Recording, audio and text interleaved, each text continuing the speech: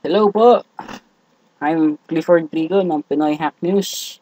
So, I will walk you through on how to get or on how to have um, the Aeon card ng Union Bank. First, punta tayo ng official website ng Union Bank.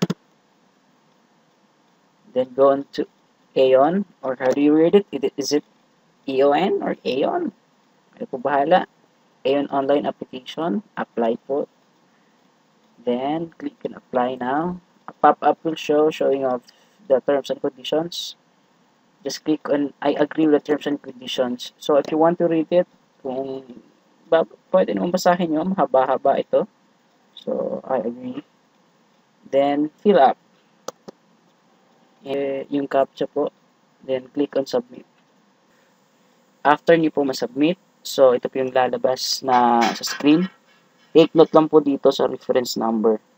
Um, if in case na wala nyo po, may sasendin po yung reference number nila sa email at na niregister nyo. So, ito.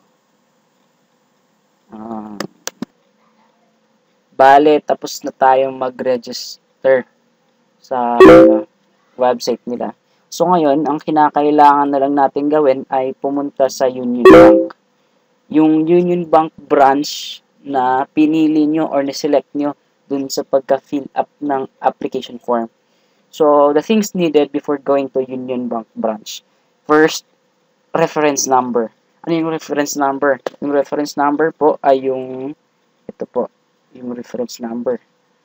And, second, two valid IDs. So, in case wala kayo idea kung ano yung mga ito po yung mga valid IDs, passports, Siemens book, driver's license, NBI clearance, or mga documents, supporting documents, pwede po yun. Third, photocopies of the IDs. So, before tayong pumunta ng Union Bank, dapat na pa-photocopy na po natin yung mga ID. Nung ako nakalimutan ko photocopy, kaya bumalik ako sa labas, at doon po photocopy ako.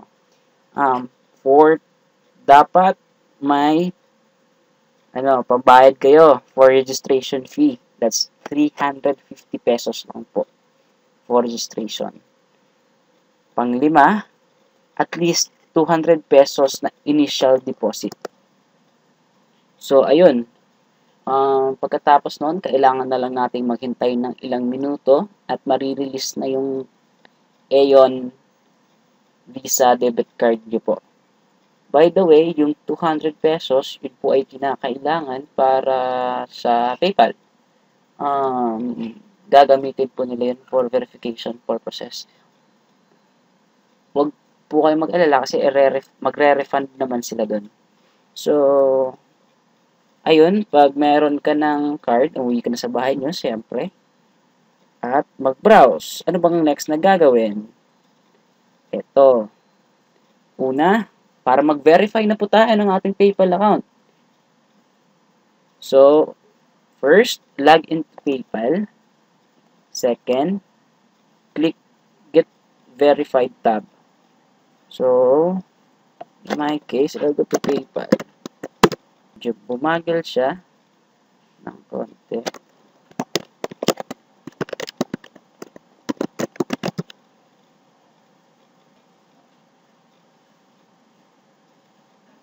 In my case po, verified na po ang aking PayPal account. So, dito po, ito po yung i-click nyo. Dito, get verified yung lalabas dito. So, pagka-click nyo, you should fill up the necessary um, fields. Fill up nyo pong mga details nyo. Then, PayPal will send a 4-digit code or how do you read it? Exposed code po. So, paano natin makukuha yung code? Kasi gagamitin natin yun for verification. Uli. Na naman. Oo. So, kailangan po natin maghintay ng mga ilang oras. Tapos, tatawag po tayo sa Union Bank para hingin yung uh, code na ano, ni-send ng PayPal. So, ito po, you can call Union Bank or visit their branch. So, pag gusto niyo pong tumawag lang, ito yung number nila. Save it na lang po for domestic toll-free, for universal toll-free. Ayan po. Pero pag gusto niyo namang, kung malapit lang din naman yung Union Bank, Union Bank branch, edi bisitahin na lang po natin uli.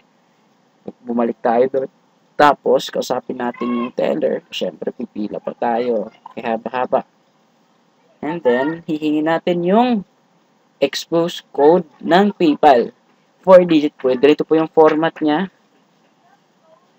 Ganito po. Visa dash PP PayPal asterisk dito po yung code. Ito po yung code. Ito po yung kukunin natin.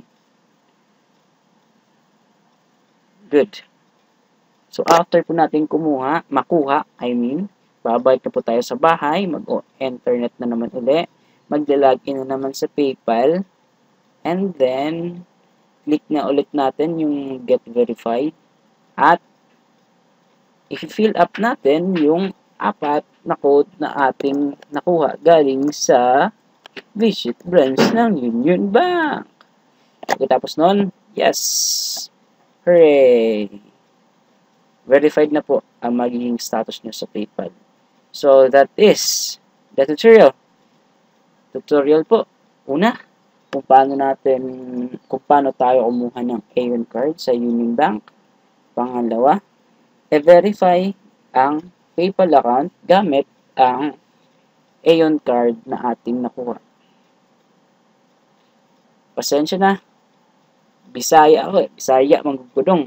Kaya nahihirapan ako mag-Tagalog eh. And then, I'm not good in English. Kaya, yeah. Thank you for watching.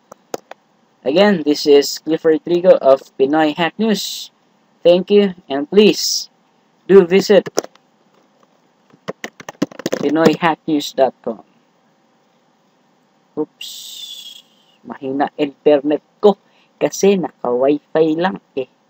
Mahina internet ay Ito po. Thank you. Again.